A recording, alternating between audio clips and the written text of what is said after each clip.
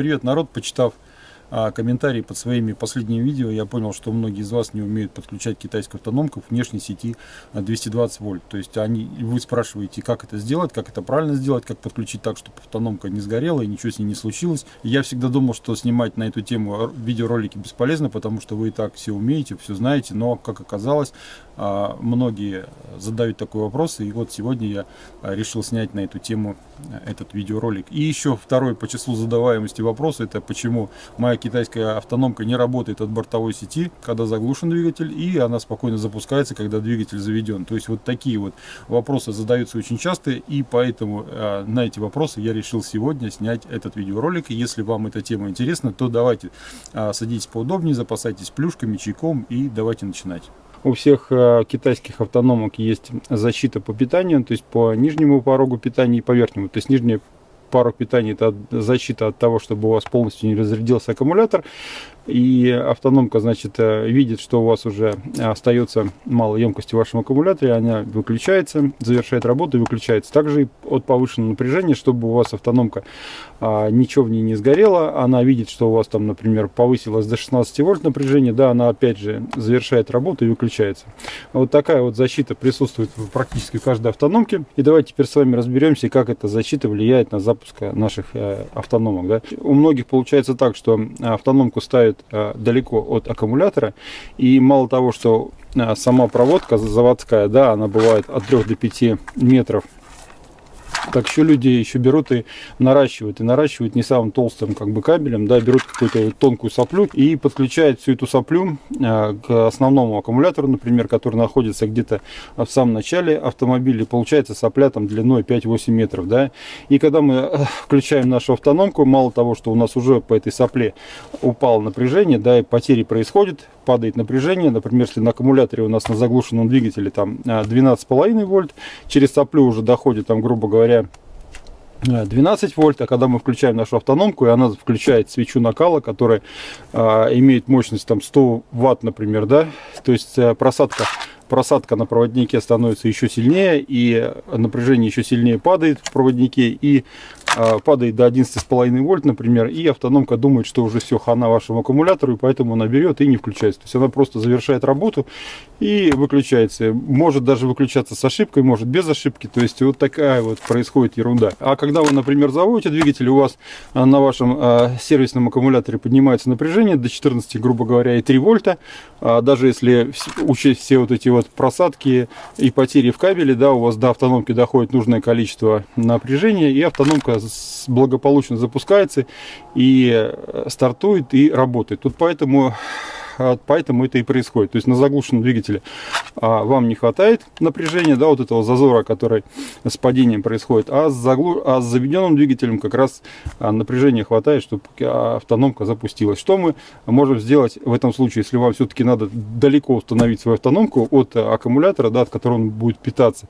В первую очередь можно вообще заменить полностью весь кабель, поставить какой-нибудь там 4 квадрата, опустить его от аккумулятора прямо до самой автономки, отрезать питающий кабель прямо около здесь, около фишки, то есть исключить вот эту вот э, соплю трехметровую, да, которая здесь, ну, я не знаю, тут сколько, полтора квадрата, наверное, она вот провод. То есть отрезать всю эту питающую соплю и прокрутить, ну и припаять там э, или обжать как-то, или там, ну, приделать сюда нормальный провод, дать там 4 квадрата, грубо говоря, и у вас тогда потерь не будет, автономка, скорее всего, уже запускаться будет. То есть а, для того, чтобы ваша автономка запускалась, а, обрезаем всю эту фигню заводскую, да, вот эту питающие два кабеля, которые вот это вот, э, э, вот эти, да, там плюс-минус обрезаем, вот смотрим, да, где она тут у нас, вот здесь на фишке, да, вот здесь. Даже можно после фишки подключить.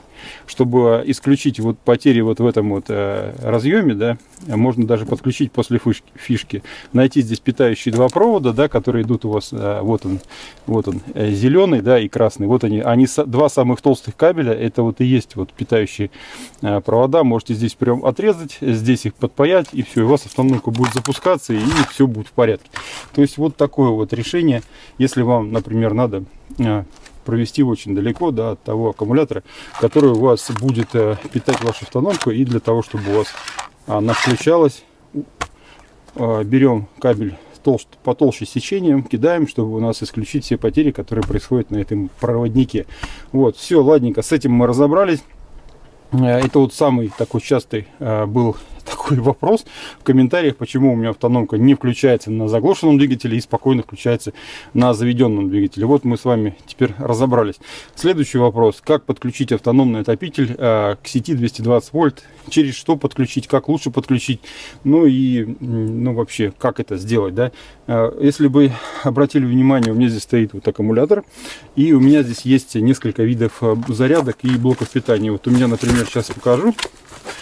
А, подключать можно совершенно разными способами автономку а, к сети 220 вольт. Сейчас я достану этот.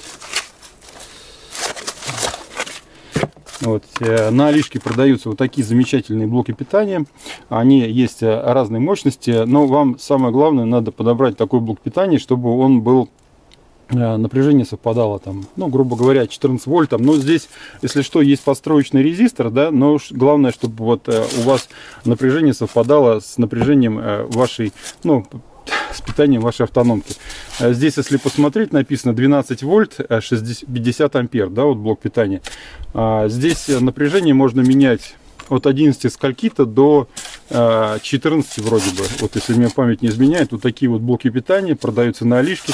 А, вы покупаете. И главное купить не менее, не менее 15-20 ампер, чтобы он был мощностью. иначе у вас автономка не будет включаться и она будет уходить как бы опять же по напряжению в защиту. Вот, вот такие вот блоки питания вот можно купить и подключить. Так, дальше. Э, если вы, например, не хотите разоряться на блок питания, у вас э, в доме завалялся обычная автомобильная зарядка, вот как вот это, например, там кулон, кулон 715D. Да, чем хороша эта зарядка? Тем, что она здесь можно регулировать и напряжение, и силу тока. То есть вы выставляете нужное вам э, напряжение, и силу тока, да, ставите там, ну, максимально 15 ампер, например, и у вас автономка будет замечательно работать от этого блока питания. Но не у всех есть такие замечательные зарядки, да, которые работают, у которых есть регулировка и которые не являются автоматическими. В основном у многих, э, у многих э, в основном у многих вот такие зарядки, ну, подобные, да, автоматические зарядки, которые полностью автоматические. Здесь единственное, что можно переключить, это режим, то есть, например, там кислотный, да, там а, кислотный АГМ, или же там, например, лифер, да, вот, или восстановление. А вручную вот можно перебирать режим и все. А так это зарядка полностью автоматическая. Такую зарядку вы просто включаете в розетку, например, да, накидываете провода на аккумулятор, и он начинает сам автоматически его заряжать. Но если вы к такой зарядке подключите напрямую автономку, скорее всего, автономка у вас не запустится, потому что у вас э, зарядка умная, она увидит, что это не аккумулятор, и просто-напросто э, выключится и все. Что нам надо сделать, чтобы все равно подключить автономку от автоматического зарядного устройства автомобильного? Да? Мы что сделаем? Мы берем любой аккумулятор, любой автомобильный аккумулятор, который у вас уже валяется в гараже, который уже почти дохлый, там, ну, совсем дохлый, или там, ну, у которого сейчас чуть-чуть осталось, например, э, емкости, да, там у всех автомобилистов, я думаю, что найдется в гараже старый аккумулятор, который, который вы а, заменили новым, да, и который этот жалко выкинуть просто-напросто. И такие аккумуляторы там с половиной емкостью они бывают, бывает там треть емкости остается. И к такому аккумулятору можно, через такой аккумулятор можно подключить вашу а, китайскую автономку. Так, все, плюс-минус подключили.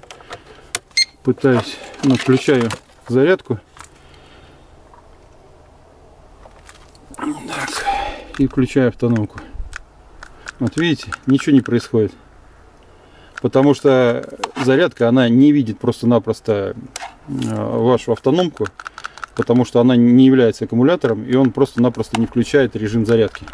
Вот. И чтобы вот это все дело обойти, подключаем сначала автономку к нашему старому аккумулятору, у которого хоть чуть-чуть осталось емкости, и сверху мы подключаем еще зарядное устройство на этот же самый аккумулятор. То есть получается у нас а, мы подключаем этот аккумулятор для того, чтобы у нас э, обмануть наше зарядное устройство, а, которое напрямую с автономкой у нас не хочет работать, но мы через, э, подключив через аккумулятор, она у нас начинает работать, и, соответственно, она будет заряжать аккумулятор, а аккумулятор будет давать э, напряжение нашей автономки. И в случае отключения электроэнергии у вас будет буфер такой, да, своеобразный буфер, как бы а, защита от такого вот выключения света, да, чтобы вы успели, например, если у вас пропадет электричество там по какой-то причине, или вы там случайно где-то что-то выдернули, и чтобы у вас с автономкой было все в порядке, а, автономка продолжит работу на вашем аккумуляторе, там, если даже там есть 15 каких-нибудь там ампер часов, то она спокойно э, завершит свою работу без, каких, без каких-либо последствий да, для своей жизни. Как бы, да? То есть вам аккумулятор нужен не только для того, чтобы обмануть а, зарядное устройство, и для того, чтобы еще была такая вот безопасность, да, в плане обращения с автономкой, то есть чтобы она у вас а, не, не сломалась и с ней ничего не произошло. Давайте пробовать. Включаю зарядное устройство. Вот, и как мы видим, зарядное устройство начало у нас э, заряжать наш аккумулятор. Сейчас я здесь переставлю. Вот, и, соответственно, мы теперь можем спокойно запустить нашу автономку, и она у нас будет работать. То есть все. А вот для этого как бы нам нужен аккумулятор, да, чтобы обмануть э, нашу Э, наше зарядное устройство, и чтобы она нам э, начала заряжать наш аккумулятор, в свою очередь аккумулятор будет давать напряжение э, нашей автономке. А если в вашем арсенале в домашнем есть вот такая вот зарядка, да, в которой можно регулировать напряжение, и вот напряжение сейчас поставлю, грубо говоря, вот 14,2 вольта, да, и накручу, например, вот 15 ампер, да. А вот если у вас в арсенале в домашнем есть такая вот зарядка, то вы можете прям напрямую подключать свою автономку. И она у вас будет работать. Сейчас. Плюс и минус. Так, где у нас пультик? Вот он пультик. Вот видите? Так, сейчас в ручной режим переставлю. Вот. Все. Ну вот автономка у нас заработала. А, и на, этом, на этой зарядке мы даже можем наблюдать, сколько у нас потребляет наша китайская автономка в этот момент. 8 ампер сейчас потребляет автономка. Это примерно около 100 ватт э, на, ну, на то, чтобы включиться. Да? То есть она включила сейчас свечу накала, и мы видим, что у нас потребление идет 8 ампер. Если у вас даже дома есть вот такое вот зарядное устройство, которое напрямую от него работает автономка, я также всем рекомендую а, подключить э, автономку через аккумулятор. Все равно через аккумулятор, чтобы обезопасить, э, ну, обезопасить свою автономку от э, сгорания.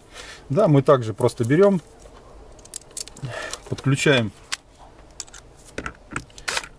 нашу автономку к аккумулятору. А уже и к этому же аккумулятору подключаем наше зарядное устройство. Как мы это делали с автоматическим. Так, значит, все, подключили мы нашу а, зарядку, да, которая не умная, которая обычная, да, которую можно регулировать напряжение и силу тока, подключили к нашему аккумулятору, к нашему же аккумулятору мы подключили и автономный отопитель. Значит, а, сразу же у нас аккумулятор начинает, так, сейчас контакт плохой, а наш аккумулятор от нашего зарядного устройства сразу же начинает заряжаться, потому что все-таки это автомобильная зарядка, а это аккумуляторы, и, соответственно, они сразу начнут между собой а, делать свои дела. Вот. Но аккумулятор будет заряжаться до тех пор, пока он берет зарядку, после того, как он полностью зарядится, а заряжаться он как бы перестанет, да, и, соответственно, вы это можете даже увидеть. После того, как вы включите свою автономку, вот включаем, вот автономка начинает работать, а зарядное устройство будет питать аккумулятор, аккумулятор будет питать автономку, и у вас таким образом будет все работать замечательно. То есть, если, например, у вас произойдет отключение электроэнергии, вот я сейчас сымитирую, отключаю зарядное устройство, у вас все равно автономка продолжит работу, зарядка не работает, но автономка продолжит работать от а, вашего аккумулятора, который вы поставите как вот буфер, да, как вот защиту от того, от э, того, что пропадет электроэнергия. И после того, как вы увидели, что у вас там потух свет, да, нету, вы прибежали, э, вы прибежали к автономке и ее просто-напросто выключили, и она штатно завершит свою работу и с ней ничего не случится. А вот такое у меня сегодня получилось видео для вас на тему, как подключить правильно китайскую автономку от бортовой сети автомобилей, чтобы у вас она всегда запускалась, даже на заглушенном двигателе. И также как подключить э, китайскую автономку от сети 220 вольт, как это лучше сделать, как это правильно сделать и так, чтобы ваша автономка не сломалась. Вот такой вот сегодня получился у меня видеоролик, если вам было полезно, как обычно. Ну а на сегодня у меня все. Увидимся в следующих видео. Всем пока! Пока-пока. И да, не забудь подписаться, потому что следующее видео будет еще интереснее, чем этот.